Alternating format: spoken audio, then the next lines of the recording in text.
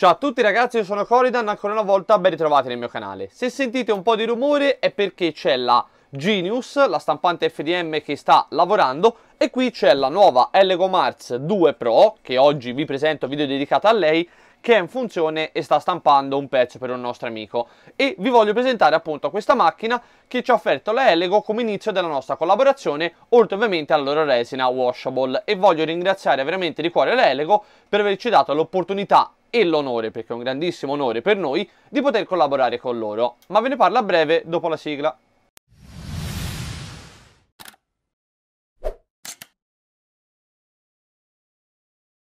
La Lego Mars, come vedete qui, 2 Pro, ora scusate un po' l'inquadratura, sono seduto su un puff, d'altronde lo spazio è sempre quello che è, e l'abbiamo spostata rispetto a dove abbiamo le altre stampanti, gli abbiamo fatto un posto dedicato anche perché non abbiamo più spazio, quindi ci abbiamo levato tutte le miniature che c'erano prima e l'abbiamo messa sotto, ci si adatta un pochino.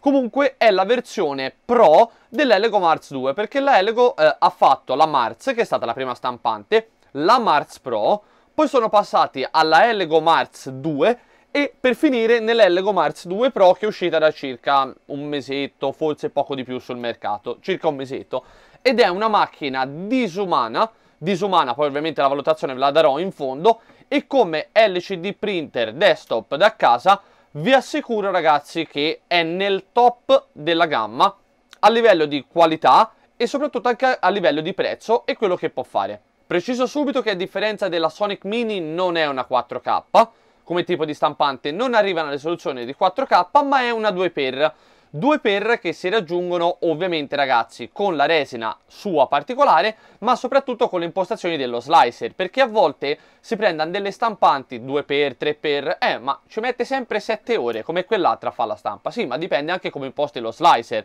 perché se la vuoi fare ultra definita i layer eh, magari bassi più definiti la velocità di stampa ridotta veramente al minimo l'infill della miniatura è normale, devi trovare te il giusto settaggio per farla andare più veloce. È come pretendere che una macchina vada più veloce di quelle che c'avevi prima e poi vai a 20 all'ora, cioè sei te che devi trovare la giusta forma per farla andare più veloce. Comunque, anche mettendo settaggi di base, già magari un'oretta tranquillamente, se non di più anche un'oretta e mezzo, la guadagnate rispetto alle stampe normali. Il piatto di stampa è leggermente più grande di quelli di queste dimensioni qui voglio fare il paragone con la Mars, quella precedente, il modello precedente, la Mars 1.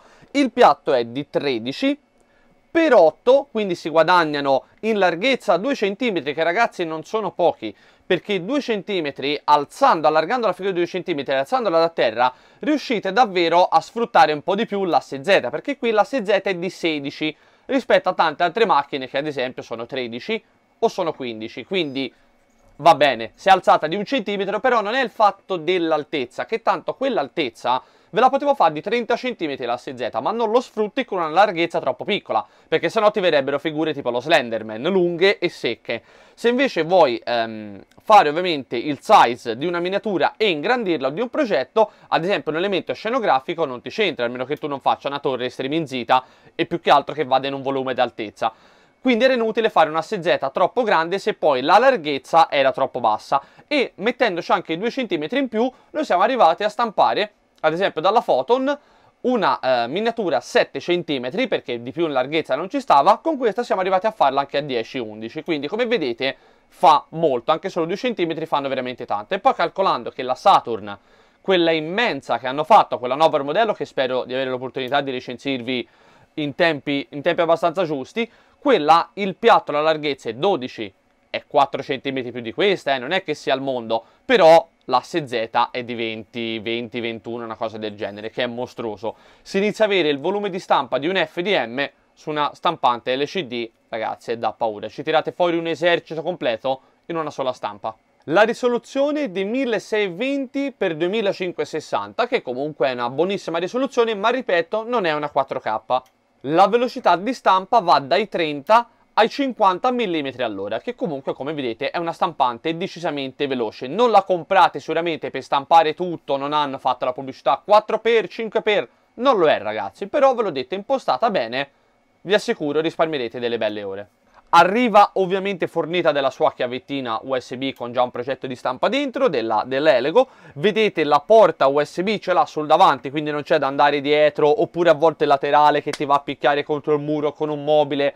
o appunto sul posteriore, qui c'è davanti, quindi non vi potete sbagliare. E poi anche il logo è veramente molto carino. Levellaggio della stampante è simile a tanti altri modelli, però come vedete ha, ora non la posso scapocchiare, che poi vi voglio dire anche l'unico punto negativo, ma di tutte le stampanti del genere che non hanno chiusura tipo a cassetta, a involucro, vedete ha una bella leva sopra al, al, piano appunto di stampa, al piatto della stampa, alla SZ. Quindi anche da livellare, da calibrare, è molto facile come macchina, ma sono tutte facili quelle che abbiamo avuto. La difficoltà principale l'abbiamo avuta inizialmente con la foto, ma non per cattiveria, perché se era dei nabacci noi, detto sinceramente. Manipola più grande che vedete lassù in cima, quella è soltanto invece per attaccarla all'asse, quindi per tenerla bella fissata, non è per il leveling. Comunque il leveling è veramente molto facile, per una stampante ve l'ho detto ragazzi, assolutamente alla portata di tutti.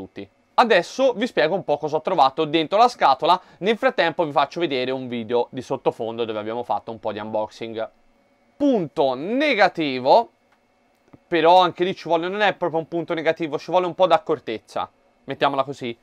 Il coperchio, questo qui che già vedete, penso si vedrà nel video per quanto ci sta questa illuminazione che fa veramente schifo, fa onco, il coperchio un po' sporco perché questo coperchio qui è ragazzi umano e naturale non vi preoccupate sbagliano anche i migliori. Quando con i guanti andate a lavorare la resina che i guanti comunque si sporcheranno ma vuoi anche per le esalazioni vuoi perché mentre la travasi un pochino magari ti cola nel guanto vuoi perché anche la miniatura non penso che la stacchi con delle tenaglie la stacchi con guanti con le mani dal piatto e quindi ancora sporca di resina ti ci rimane un po' intriso sul guanto.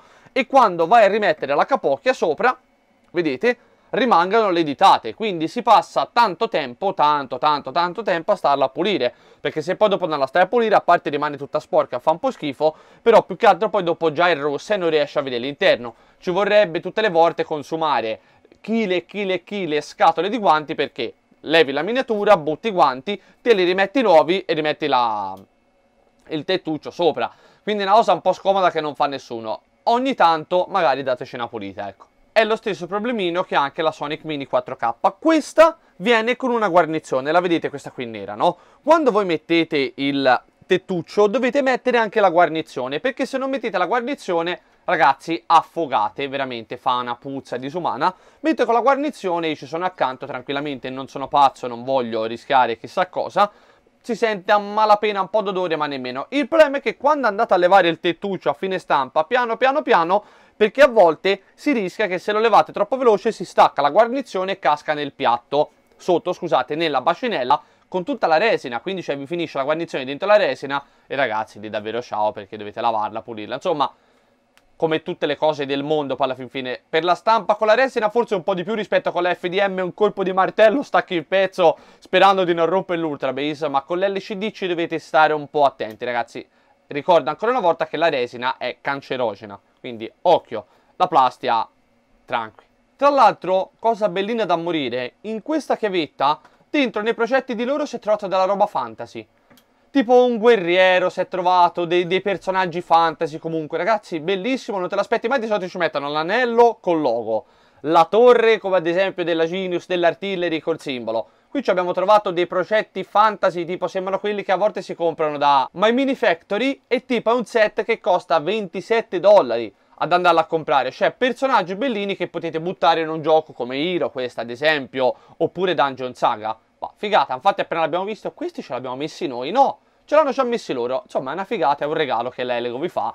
Veramente molto interessante, anche perché queste stampanti io penso il 90% della gente le compri per modellismo, quindi già trovarci dei mollini del genere la vai subito a provare, secondo me al 100%. La resina che vedete qui, che ce l'ha mandato ovviamente l'Elego, e ringraziamo anche per questa, che è la Water Washable, ed è molto buona perché questa qui non c'è nemmeno bisogno di tante cose di pulizia alla fin fine non c'è bisogno di alcol bianco e cose del genere. Stampata, prendete la miniatura stampata, ci levate i supporti, la mettete sotto l'acqua e la sciacquate. E magari con un po' di carta che poi buttate dopo, perché ricordo è cancerogena.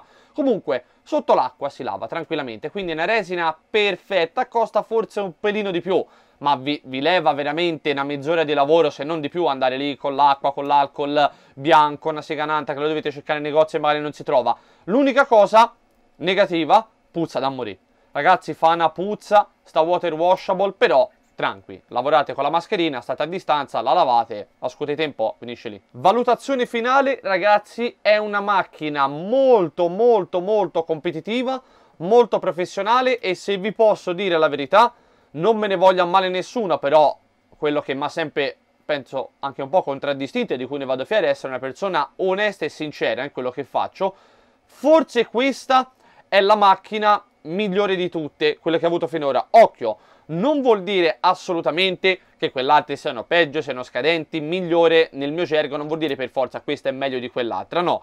Però è una macchina sicuramente più professionale, cioè le altre a volte mi sono sembrate o un po' giocattolose, o magari a volte un po' complicate in certi aspetti, per quanto, lo sapete, la Photon anche, perché la adoriamo in mia moglie? Perché sembra che ci abbia un cassone intorno, la Photon ve la potete tenere accanto qui mentre dormite, fa un po' di rumore, quello sì, fa più rumore di tutte, ma una macchina ormai ha quasi due anni, però ci potete stare così accanto e respirare, non respirate niente, perché comunque, oltre alla chiusura della macchina, c'è anche un coperchio fuori, che non si sporca mai, perché ha, ha manopolina.